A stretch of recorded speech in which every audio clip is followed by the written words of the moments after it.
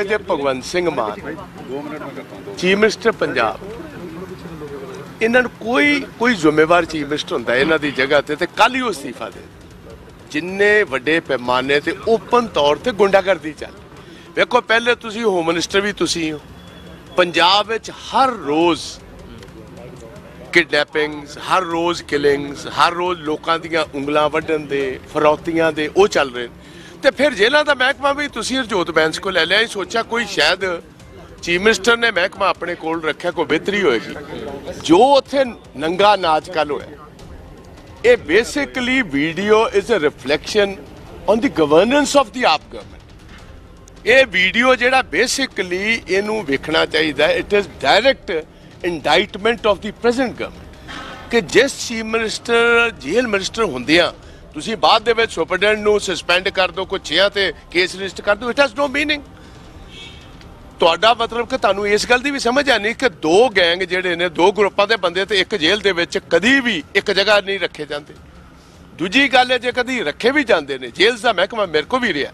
ਉਹਨਾਂ ਦੇ ਟਾਈਮਿੰਗ ਪਤਾ ਹੁੰਦੇ ਜੇਲ੍ਹ ਦੇ ਸੁਪਰਡੈਂਟ ਨੂੰ ਕਿ ਇੱਕ ਧੜਾ ਜਿਹੜਾ, ਉਹ ਕਿੰਨੇ ਵਜੇ ਥੋੜੀ ਦੇਰ ਵਾਸਤੇ ਰਿਲੀਜ਼ ਕਰਨਾ, ਦੂਜਾ ਕਦੀ ਵੀ ਆਮਣੇ ਸਾਹਮਣੇ ਨਹੀਂ ਹੁੰਦੇ।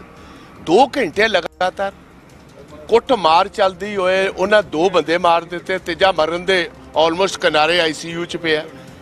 ਵੀਡੀਓ ਬਣੇ, ਜਨਤਕ ਹੋਏ, ਉਹੀ ਬੰਦੇ ਜਿਨ੍ਹਾਂ ਨੇ ਸਿੱਧੂ ਮੂਸੇਵਾਲੇ ਨੂੰ ਕਤਲ ਕੀਤਾ, ਉਹ ਸ਼ਰੇਆਮ ਧੱਜੀਆਂ ਉਡਾ ਰਹੇ ਨੇ ਪੰਜਾਬ ਪੰਜਾਬ ਸਰਕਾਰ ਦੀ ਤੇ ਚੀਫ ਮਿਨਿਸਟਰ ਦੇ ਕੰਨਾਂ ਤੇ ਜੂ ਤੱਕ ਨਹੀਂ ਸਰ ਕਰੇ। ਮੈਨੂੰ ਤਾਂ ਬਹੁਤ ਵੱਡੇ ਅਫਸੋਸ ਦੀ ਗੱਲ ਹੈ। ਕੋਈ ਜ਼ਿੰਮੇਵਾਰ ਸੀਐਮ ਭਗਵੰਤ ਮਾਨ ਦੀ ਜਗ੍ਹਾ ਹੁੰਦਾ ਤੇ ਉਹ ਅਸਤੀਫਾ ਦੇ ਦਿੰਦਾ। ਤੇ ਦੇਣਾ ਵੀ ਚਾਹੀਦਾ। ਨਹੀਂ ਕੇਰੀਏ ਤੇ ਉਹਨੂੰ ਜਿਹਨੂੰ ਕੋਈ ਥੋੜੀ ਮੋਟੀ ਕੋਈ ਕਿਸੇ ਦੀ ਜੋ ਕਿਸੇ ਨੂੰ ਕੋਈ ਆਪਣੀ ਜ਼ਿੰਮੇਵਾਰੀ ਜਿਹੜੀ ਚੀਫ ਮਿਨਿਸਟਰੀ ਦੀ ਉਹਦਾ ਅਨੁਭਵ ਵੀ ਹੈ ਨਹੀਂ ਉਹਦੇ ਬਾਰੇ ਉਹਨੂੰ ਇਹ ਪਤਾ ਹੀ ਨਹੀਂ ਕਿ ਮੈਂ ਮੇਰੇ ਕੋਲ ਜ਼ਿੰਮੇਵਾਰੀ ਕਿਹੜੀ ਹੈ। ਜ਼ਿੰਮੇਵਾਰੀ ਤਾਂ ਸਮਝਣ ਦੀ ਗੱਲ ਹੈ ਜੀ।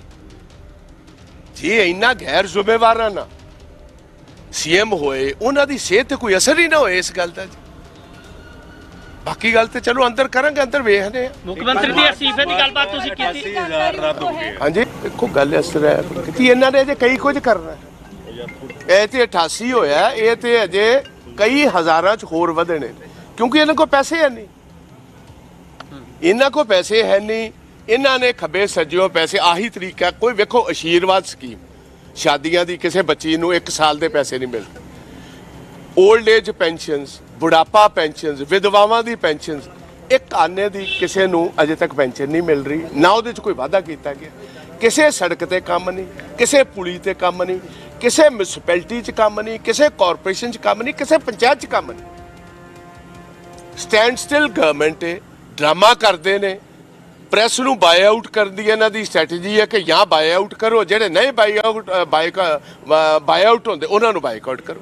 ਇਹ ਕੰਮ ਨਹੀਂ ਚੱਲ ਸਕਦਾ ਲੰਬਾ ਜੀ ਵੇਖੋ, ਅੱਜ ਰਾਗਵ ਚੱਡੇ ਨੇ ਕਿਹਾ ਕਿ ਈਡੀ ਸੀਬੀਆਈ ਐਨਆਈਏ ਇਹ ਬੀਜੇਪੀ ਦੇ ਕਹਿਣ ਤੇ ਸਾਰੀ ਜਗ੍ਹਾ ਤੇ ਆਪੋਜੀਸ਼ਨ ਦੇ ਲੀਡਰਸ ਦੇ ਘਰਾਂ 'ਚ ਛਾਪੇ ਮਾਰ ਰਹੇ ਨੇ। ਮੈਂ ਇਸ ਗੱਲ ਨਾਲ ਸਹਿਮਤ ਹਾਂ ਬਿਲਕੁਲ। ਉਹਨੇ ਇਹ ਵੀ ਗੱਲ ਕਹੀ ਹੈ, ਇਹਨਾਂ ਸਾਰੀਆਂ ਜਿਹੜੀਆਂ ਏਜੰਸੀਆਂ ਨੇ, ਇਹਨਾਂ ਦੇ ਹੈੱਡਕੁਆਰਟਰਸ ਤੇ ਬੀਜੇਪੀ ਦਾ ਝੰਡਾ ਲਾ ਦੇਣਾ ਚਾਹੀਦਾ ਮੈਂ ਕਹਿੰਦਾ ਬਿਲਕੁਲ ਠੀਕ ਹੈ। ਫਿਰ ਰਾਗਵ ਚੱਡਾ ਜੀ, ਤੁਹਾਡੇ ਵਿਜਨਸ ਦੇ ਦਫ਼ਤਰ ਤੇ ਵੀ ਆਪ ਦਾ ਝੰਡਾ ਲੱਗ ਜਾਣਾ ਚਾਹੀਦਾ। ਜੋ ਤੁਸੀਂ ਜੋ ਤੁਸੀਂ ਹੁਣ ਉੱਥੇ ਚੀਕਾਂ ਮਾਰਦੇ ਫਿਰਦੇ ਹੋ, ਉਹੀ ਤੁਹਾਡਾ ਕੰਮ ਇੱਥੇ ਹੈ? ਪਾਰਦਰਸ਼ੀ ਹੈ ਕੋਈ? ਅੱਜ ਸਰਾਰੀ ਨੂੰ ਤੁਸੀਂ ਡ੍ਰੌਪ ਕੀਤਾ, ਸਰਾਰੀ ਤੇ ਅਜੇ ਤੱਕ ਕੇਸ ਰਜਿਸਟਰ ਕਿਉਂ ਨਹੀਂ ਕੀਤਾ ਗਿਆ? ਸਰਾਰੀ ਅਰੈਸਟ ਕਿਉਂ ਨਹੀਂ ਕੀਤਾ ਗਿਆ?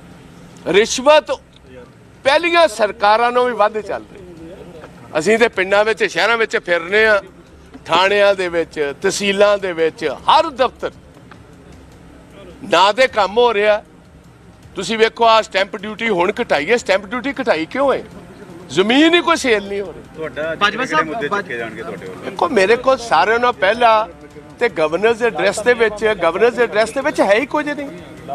ਪੈਡੈਸਟਰੀਅਨ ਇਹ ਹੈ ਕਿਉਂਕਿ ਜਿਸ ਗਵਰਨਰ ਨੇ ਇਹ ਐਡਰੈਸ ਪੇਸ਼ ਕੀਤਾ ਉਹਨੂੰ ਇਹ ਗਵਰਨਰ ਹੀ ਨਹੀਂ ਮੰਨਦੇ ਪਹਿਲੀ ਤੇ ਇਹ ਬਾਜਵਾ ਸਾਹਿਬ ਗਵਰਨਰ ਦੇ ਐਡਰੈਸ ਤੇ ਆਮ ਤੌਰ ਤੇ ਪੰਜਾਬ ਦੇ ਇਸ਼ੂ ਹੁੰਦੇ ਨੇ ਚੰਡੀਗੜ੍ਹ ਦਾ ਇਸ਼ੂ ਹੁੰਦਾ ਪਾਣੀਆਂ ਦਾ ਇਸ਼ੂ ਹੁੰਦਾ ਕੋਈ ਲੇਕਿਨ ਐਡਰੈਸ ਪਹਿਲੀ ਵਾਰ ਨਾ ਹੀ ਨਹੀਂ ਲਿਆ। ਤੁਸੀਂ ਵੇਖੋ ਗਾਇਬ ਹੈਗੇ ਨੇ ਅਨਫੋਰਚੂਨੇਟਲੀ ਪੰਜਾਬ ਦੇ। ਅਨਫੋਰਚੂਨੇਟਲੀ ਜਿਹੜੀ ਜਿਹੜੀ ਪੋਲੀਟੀਕਲ ਡਿਮਾਂਡਸ ਆਫ ਪੰਜਾਬ ਨੇ। ਉਹਦੇ ਵਿੱਚ ਚੰਡੀਗੜ੍ਹ ਦਾ ਮਸਲਾ ਹੈ ਕਿ ਅ, ਸਾਨੂੰ ਵਾਪਸ ਚੰਡੀਗੜ੍ਹ ਦਿੱਤਾ ਜਾਏ।